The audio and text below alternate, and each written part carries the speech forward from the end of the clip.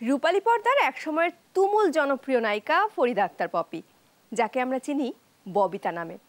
অভিনয় থেকে দূরে থাকা এই মানুষটির এখন বেশিরভাগ সময় কাটে ছেলে অনেকের সঙ্গে কানাডায় ববিতার ফেসবুকে উকি দিলেই মেলে তেমনই তথ্য। এছাড়া তার শপিং, ভ্রমণ সহ নানান নিত্যদিনের রঙিন মুহূর্তগুলো উঠে আসছে সামাজিক যোগাযোগ মাধ্যমগুলোতে।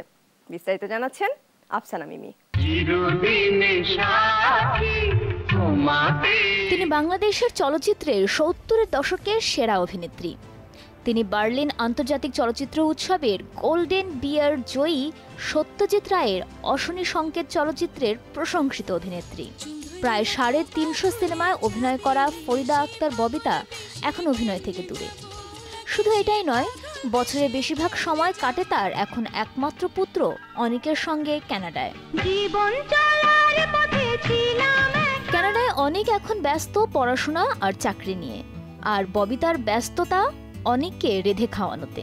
আর যখন অনেক কাজে চলে যান তখন একাকী সময় কাটাতে ববিতা বের হয়ে পড়েন মাছ ধরতে কিংবা শপিংয়ে সম্প্রতি ববিতা গেলেন সেখানকার এক কাঁচা বাজারে। আর সেই ছবিগুলো এখন ভাসছে নেট দুনিয়ায়।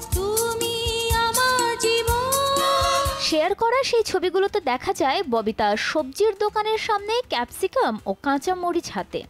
ছবির ক্যাপশনে এই কিংবদন্তি অভিনেত্রী লেখেন কানাডার বাজারে। মাছ ধরা রান্না করা আর ছাদ বারান্দায় সবজি চাষে বেশ ভালো সময় পার করছেন এই অভিনেত্রী। সবজির বাজারের মতো কিছুদিন আগে মাছ ধরার কিছু ছবি খুঁজে পাওয়া যায় সামাজিক যোগাযোগ মাধ্যমে। জানা যায় ছেলের সঙ্গে নানা জায়গায় ঘুরে ঘুরে সময়টা বেশ ভালোই কাটছে তার।